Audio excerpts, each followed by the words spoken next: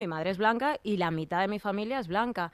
Y en mi familia pues también hay racismo, pero porque es una cuestión de diseño, de cómo nos han construido, ¿no? Al final somos como bolitas de arcilla cuando nacemos, completamente romas, pero los diferentes sistemas nos van esculpiendo hasta el punto de que pues acabamos siendo machistas o teniendo machismo interiorizado, racistas o siendo endorracistas, etcétera, etcétera, ¿no?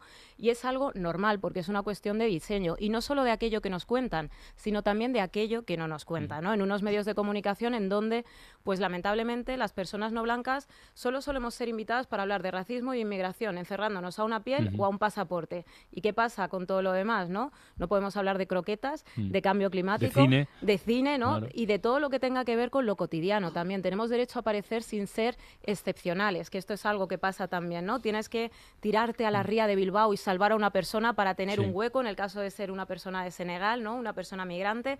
Tienes que ser una mujer excelente como eh, Asa Ismail, por ejemplo, ¿no? Que lucha contra la mutilación genital Ujú. femenina. ¿Y qué pasa con Sí. Todos los vecinos, vecinas que están en nuestras calles y que también construyen esta sociedad?